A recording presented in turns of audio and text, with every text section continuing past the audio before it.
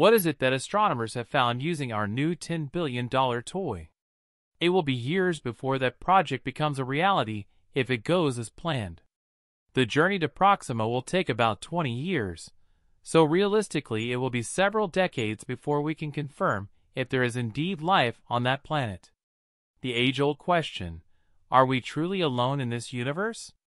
The James Webb Space Telescope has discovered some terrifyingly humanesque things far, far away from Earth that lead us closer to the answer. Our search for life outside of us has been rampant throughout each human civilization, so much so that we have thousands and thousands of media, literature, and theories on this subject.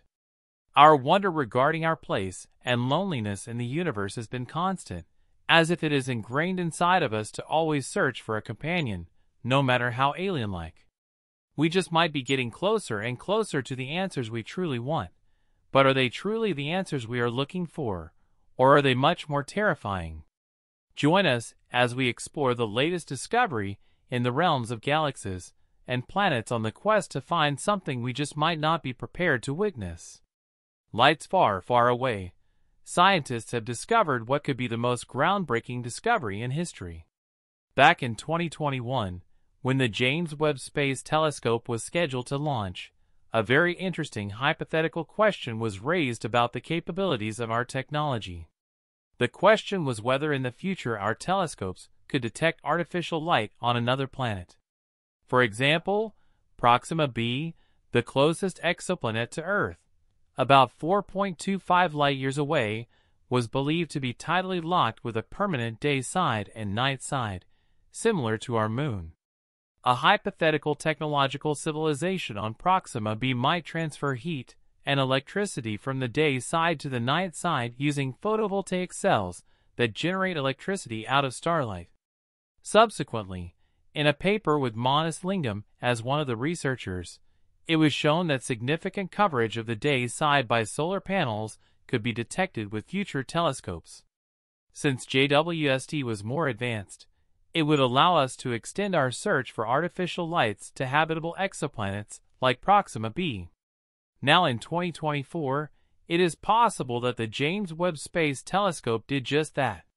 Using its higher sensitivity and bigger range of capabilities, the JWST might have discovered the lights we were looking for and possibly hurled us into another big surge of human evolution.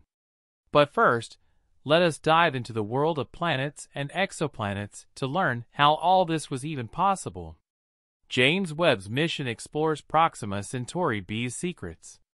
Throughout history, humans have wondered about the nature of the universe. What we are, where we come from, and where we go are common yet extremely difficult questions man has tried to answer as soon as he gained consciousness. Now, in the age of exponential technological advancement, one does wonder if we are any closer to any of the above questions.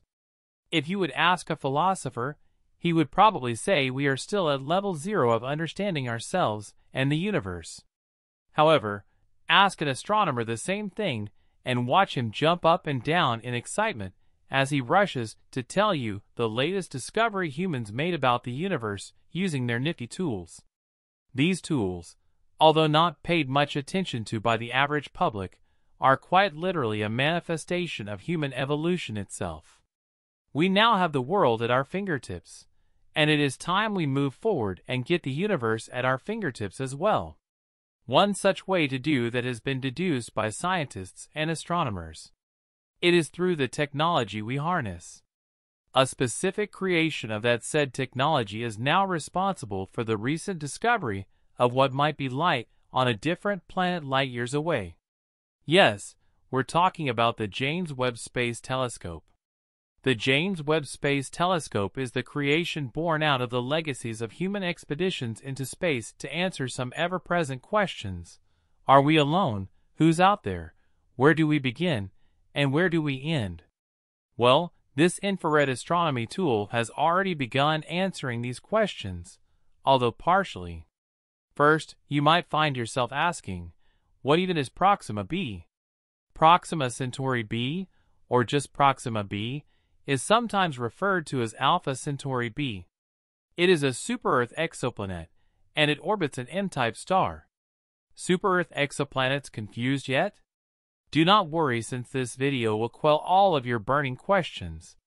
Super-Earths are a class of planets that are more massive than Earth, yet lighter than ice giants like Neptune and Uranus. They are truly one of a kind.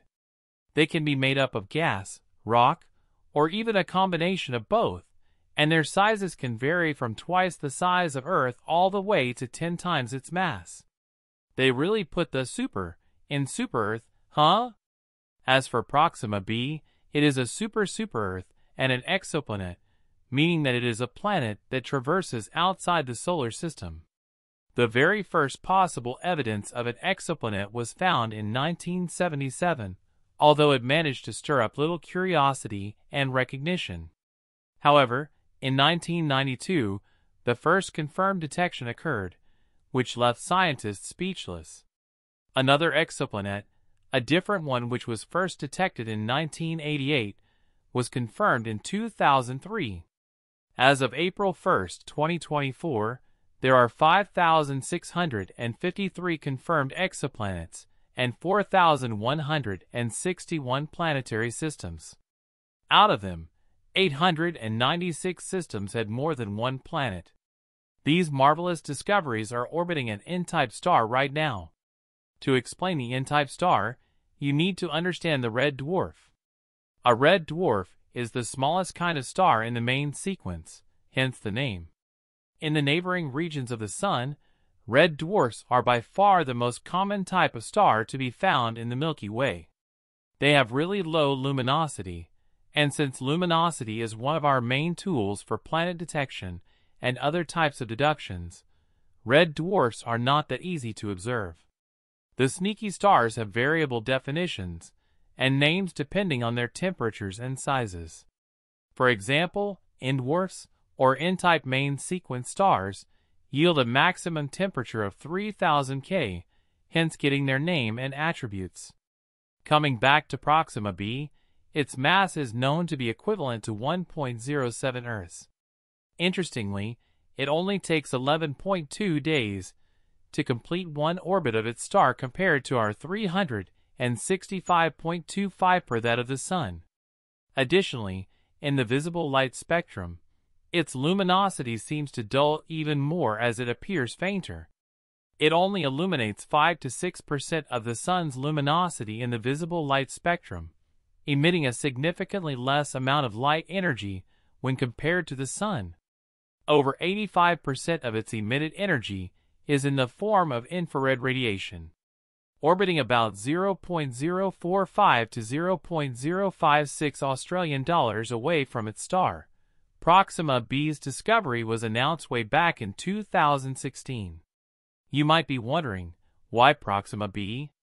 Millions of stars, planets, and galaxies, so why are we so fixated on this particular celestial body? Well, there are a few reasons that contribute to the keen interest astronomers have in this place. First and foremost, Proxima b is the closest known star to our Sun, and by definition, although 4.2 light-years is a big number to us Earthlings, in the grand scheme of the universe, it is a mere blip. Hence why Proxima b, our closest known star, is high up on the priority list at the moment. It is also a part of the triple star system called Alpha Centauri, and although Proxima's luminosity is very low, the system itself appears as one of the brightest constellations in the night sky, only behind two others called Sirius and Canopus. However, the most interesting thing about Proxima Centauri b is that it might potentially be habitable, since it falls under the habitable zone. The possibilities surrounding this star are endless, and thus astronomers have taken on the expedition to explore the depths and limits of the potential of the star. That is where the James Webb Space Telescope comes in. The four key goals of the JWST are to search for light from the first stars and galaxies that formed in the universe after the Big Bang, study galaxy formation and evolution, understand star and planet formation, and study planetary systems and the origins of life. As the JWST continues its exploration of the said exoplanet, we get closer and closer to the completion of these missions. From SETI to exoplanets, searching for alien life. So, what exactly is SETI, one might ask? Considering that humans have always been a curious species, poking and prodding into literally anything and everything that moves and doesn't move, it makes sense that a quest like SETI came into existence on such a large scale. Imagine that God has organized a grand cosmic treasure hunt, but with a twist. Instead of gold, we are tasked to be on the lookout for signals, more specifically electromagnetic whispers from civilizations beyond our wildest dreams. SETI is short for the search for extraterrestrial intelligence. It is like the world's most high-stakes game of hide and seek, with our planet as the seeker and the vast universe as the seemingly infinite hiding spot. It is one of those fields where scientists are modern-day Sherlocks, tuned into radio waves and scouring for that elusive, we are not alone, moment. This game of cosmic eavesdropping began in earnest in the 1960s. Frank Drake, a man who could make even Einstein say, Now that's a smart cookie, pointed a radio telescope at two sun-like stars and listened. Although he was greeted with the sound of silence, Drake's equation, an algebraic recipe to estimate the number of civilizations in our galaxy, set the stage for generations to come. Fast forward to now, and SETI has turned from a backyard science project into an interstellar endeavor. Scientists use an array of tools, from the giant Arecibo telescope to the Allen telescope array, a network of dishes that looks like a high-tech crop circle. The aim is to catch that one peculiar signal, a blip or a whisper that says hello from another world. These are radio signals that SETI typically hunts for, the kind that you might hear on your FM dial, just with a touch more stardust. But in 1977, a signal named Wow was received. It was a radio burst so distinct that it made the astronomer who found it write, Wow! in the margins of the data printout. Was it ET phoning home? Not quite clear, but it fueled the fervor to keep the ears of our giant dishes open. However, just listening is not enough anymore. With advancements in technology, SETI now looks for technosignatures, signs of technology, the kind that would indicate a civilization advanced enough to produce them. Picture this an exoplanet bathed in the glow of city lights or covered in solar panels glistening under an alien sun. SETI's new age quest is to spot these artificial lights or industrial pollutants in alien atmospheres, an alien world's equivalent of finding candy wrappers left behind in a cosmic park. These efforts tie in beautifully with the James Webb Space Telescope's mission. The JWST, with its sharp infrared vision, could be the cosmic detective that helps SETI spot these technosignatures. It's a tag team of sorts where the telescope finds the planets and SETI listens in for the telltale signs of intelligence. SETI, although ambitious, faces its fair share of challenges. Space is mind-bogglingly huge, and signals can be as elusive as finding a needle in an intergalactic haystack. There's also the cosmic speed limit. Signals from civilizations millions of light years away would take eons to reach us. Yet despite the odds, the search continues, fueled by the possibility of one day finding out that in the grand cosmic drama, we are not the only players. The recent discovery using the JWST might just be the biggest find in this hide-and-seek game. This groundbreaking revelation may imply that Proxima B has artificial lights on its dark side. However, what does that actually mean? Does it imply that a civilization intelligent enough to use tools similar to ours exists? Have we found friends? Are we truly alone in the universe? The very idea of this discovery is terrifying as there is so much more to learn. But more importantly, the endless number of possibilities is the truly terrifying part. Let's dive into the details and see exactly what this means. Imagine a hypothetical scenario you are looking up at the night sky, gazing at a distant planet through the lens of the James Webb Space Telescope.